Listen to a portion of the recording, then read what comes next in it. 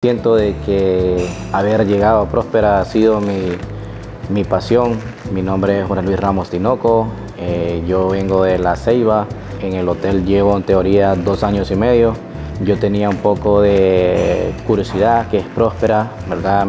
Quisiera, digo yo en mi mente, quisiera saber qué es Próspera. El concepto cuando uno se refiere a Próspera, eh, uno habla de trabajo, desarrollar una comunidad, ¿verdad? Entonces me ha permitido desarrollar mi carrera culinaria, estudiar más, salir fuera de mi país, ¿verdad? Conocer muchos diferentes lugares. Siento de que haber llegado a Próspera ha sido mi, pasión. Confíen en Próspera, que se, que se dejen dar ese abrazo amigo que, a la cual es Próspera, ¿verdad?